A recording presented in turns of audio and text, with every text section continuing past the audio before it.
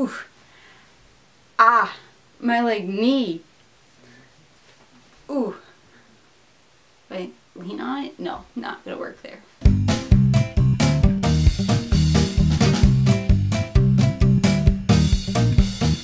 Hey guys, it's Alyssa, and this is Alyssa Explains It All! Episode I have no idea. I haven't been keeping track of that mentally. Like when I type it in on the computer, it's there, but not up here. Today's episode is going to be all about Johnson Hall. Johnson Hall is the all freshman hall, and a lot of people want to live in a freshman dorm and want to know exactly what Johnson offers to freshmen. I will highlight the other residence halls as a comparison, but brief, most of it will mostly be on Johnson itself. Johnson is located on Lakeside. It's also connected to Lakeside Dining Hall, so literally it's right there, it's inside. It's not like there's a tunnel, it's literally right inside. So that's a luxury if you do live in Johnson. You can just go downstairs, you can go to the dining hall. Johnson Hall is basically helping freshmen with being freshmen, with being the youngest people on campus and transitioning into college. Johnson Hall is all freshmen, like I said, so that means everybody is going on the same path. I have mentioned this in past videos, but this time I'm going to talk about a little more specifics about Johnson Hall. I lived in Johnson Hall last year for second semester. I really enjoyed it. First semester, when I heard my friends talking about what they had to do while living there, I wasn't very jealous, but when I got to move in and then become a part of it, it was really, really nice. Let us talk about the requirements. You need to do this thing called GST, which is basically like a credit. So you get a credit for loans being in Johnson. When I was in Johnson, there was a specific thing you had to follow. Even the first semester, my friends had to follow a specific thing. Now I think you have to take a class with your hours and stuff like that. What GST is, it's kind of like you have to earn the credit. So you have to do a certain amount of community service hours. You have to go to a certain amount of programs that people offer and you need to complete it by a specific date and then you have to do a summary essay of what Johnson has taught you and how it has benefited you as a person. If you do not do all these hours and if you do not complete the stuff by that specific date, you will get kicked out of Johnson. They will physically move you out. The cool thing about Johnson is that they don't really have RAs. They have RMs. RMs are resident mentors. They are there to help you transition into college. And they are there to help you gain those hours. They run a program every week. At least I think all of them have to at least run one once a week or something like that. You need help with hours, if you need help with school, social, any personal things, they are there for you. Comparing to other dorm rooms, they are a little bit spacious and a little bit bigger. They come with a dresser, not a closet like this, and they come with obviously a desk and a bed and the drawers and everything. It just says the room's a little bit bigger. So, and there's two windows. So like, just like picture this room a little bigger and spacious. Let me talk about the bathrooms. You get the luxury of the bathroom. You walk in and there will be two stalls of toilets for you. One's big, one's normal. And you have, the, you know, the four sinks and the showers. So you have, there's a, it's like another stall. So you have the shower stall door and then you have the normal curtains. You have all the space. So you have a lot of space to put all your stuff.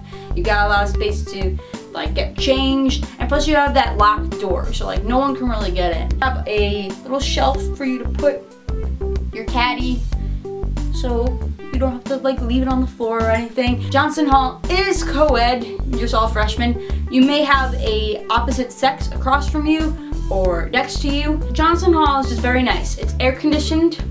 Yeah, you can kind of control it and I, I mean, I don't know why you would need that in the winter, but when the summer does come, or when you first get there, it's gonna be very, very hot, so that's good to have the air conditioning to control. You have a kitchen on every floor. It comes with a microwave and an oven and a sink, so you can like go make an omelet or pancakes if you want and go heat up your mac and cheese if you really, really need to. You guys also had questions for me about all this stuff. Alex and he says, how about your opinion on staying in an all dorm freshman versus a mixed dorm? Pretty good because you You don't really know anybody, they don't really know you. So I literally, even though I didn't live in Johnson my first semester, I literally walked around with my friends and we knocked on everybody's door with an RM and just said hi. We introduced ourselves, we said what major, we just said hi. Like I didn't care to be friends with any of them, but it was really nice to see them. They were really happy to see me, you know what I mean? Living in a mixed dorm doesn't really matter. I don't even know who's older than me or my age, honestly. And I don't even know who's a freshman when I'm here. Dylan says, why does it seem like people are most interested in Johnson? Because it's just really, really nice and it's all freshmen and it's air conditioned and it's right by Lakeside. Steve says, I want to know about living in Cayuga or Seneca. If you could do that, that would be much appreciated. Cayuga and Seneca. I live in Seneca now. So Cayuga, it's the same thing. I mean, Seneca is 10 floors. We have the most residents. Cayuga is only three, four floors and it's an elevator and it's just wider so it's on West Campus and they're both connected to Pathfinder Dining Hall. So compared to Johnson, they're not luxurious, but they are really, really nice. I like it here. If I was able to just stay here forever, I would. Annalie says, how was your first week there? First week at Johnson, I don't remember. I know that the first week when I came to school, I went to Johnson like a billion times and everybody was really, really nice. Sarah, how was your first week at Johnson? Glorious. Everybody was so nice. Stop being sarcastic. Welcoming, know, it was very warm. Everybody came to see you. Okay, thank you. You're welcome. There's your answer. what should we be most prepared for going into the year? Says David. You're gonna get a lot of work to do, you're gonna make a lot of friends, and you're gonna make right choices. I'm the Master Commander. it's Monday. Yes! It's a Monday, I had to say it. Yes! You're awesome, I'm awesome, and thank you for watching this video. And uh, I hope that you choose a great dorm. Either dorm is really good for you to choose. If you want to subscribe to this channel, you should do that because you can find out when I make more or Alyssa Explains It Alls and uh, SUNY Oswego will also post a lot of other videos that are quite useful and you should go check those out too because some are about residence halls. They actually interview people um, about which hall that they live in and why they like it. If you want to subscribe to my personal YouTube channel, you can click this box right here and it will take you there. That's if you just want to see my face more often. I'm going to try to make a couple more videos for that channel, so check it out. If you have any questions or comments or other video ideas, you can tweet me at listless15. You can just look me up on Twitter and direct message me, follow me, tweet me. I will answer back. I'm a very nice person and very social. And I'll see you guys in the next video. See you guys around, okay? Right. Bye.